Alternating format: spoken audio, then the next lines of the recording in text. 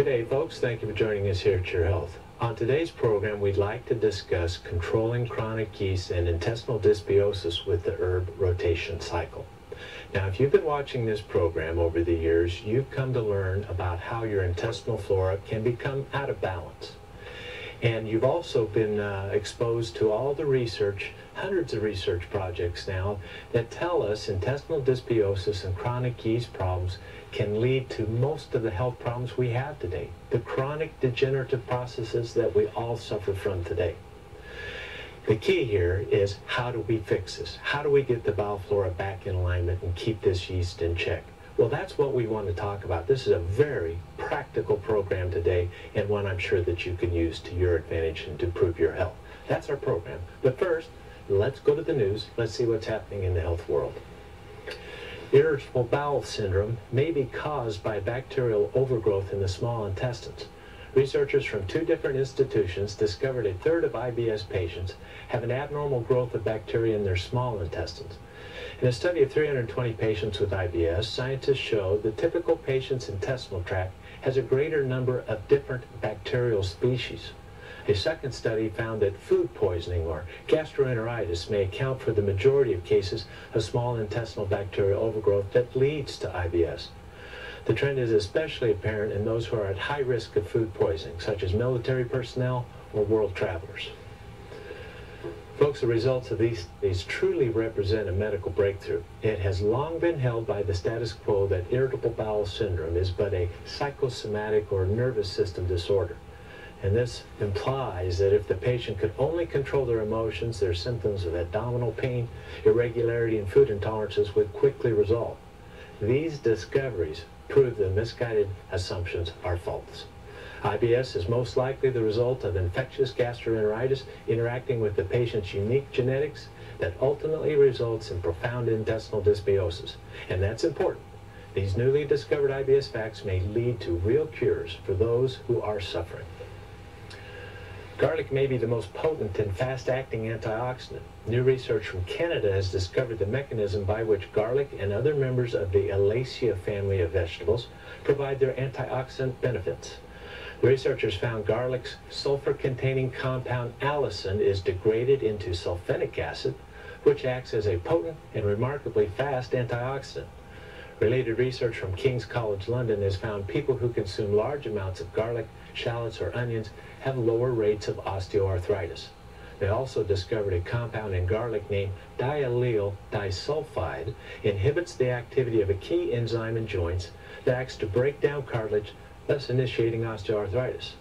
Further research from India has discovered adding garlic or onions to cereal grains increases the absorption of the essential minerals. The researchers hope the discovery will help alleviate mineral deficiencies. One third of the world's population is deficient in both iron and zinc.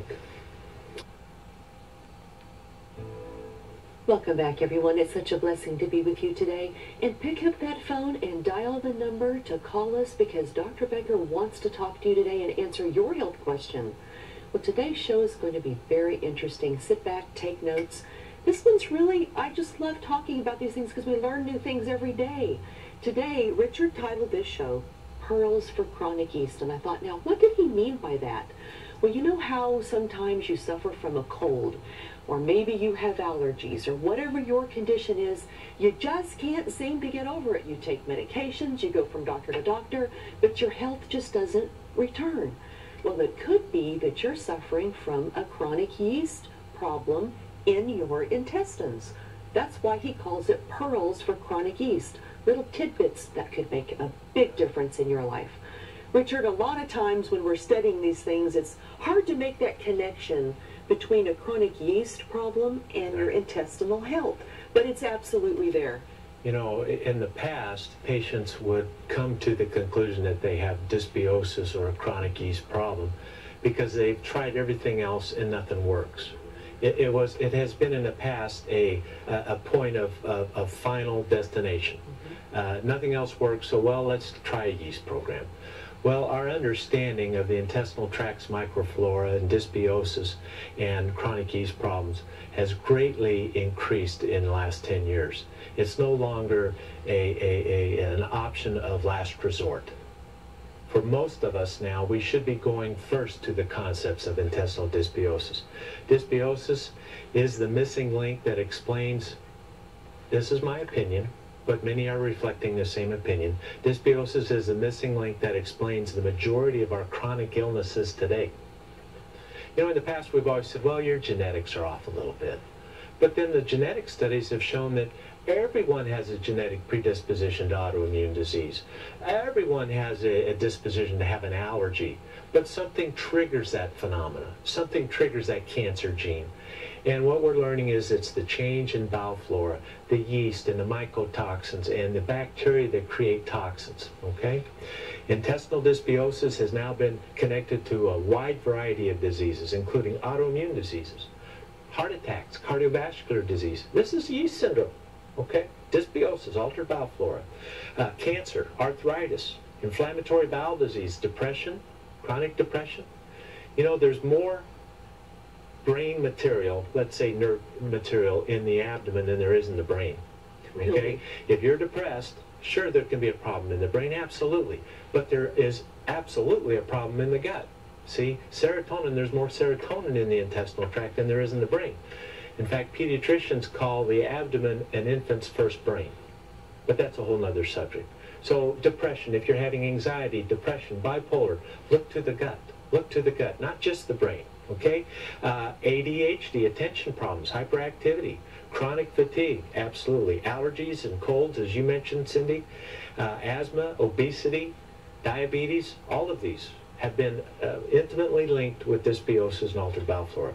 You may have intestinal dysbiosis and a chronic yeast syndrome with no obvious intestinal complaints no obvious intestinal com complaints. The most, the majority do have an intestinal problem. They say, well, yeah, I've been irregular, I, this, that, and the other, I get some cramping. But you may have no symptoms, or they may be severe. Okay, it's very important that we can't just focus on how's my gut feel to make this conclusion and lead you to the appropriate treatment path. It is imperative that you take steps to correct your intestinal flora or healing will not occur. I don't know any other clear way to say it you have to take these steps, okay?